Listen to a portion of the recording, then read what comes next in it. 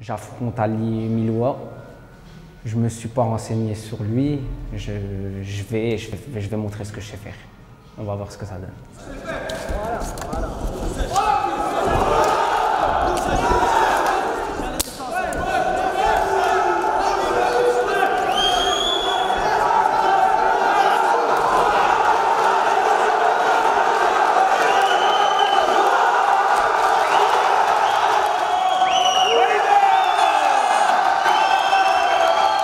Bah, ce combat, il ne s'est pas passé du tout comme je l'imaginais.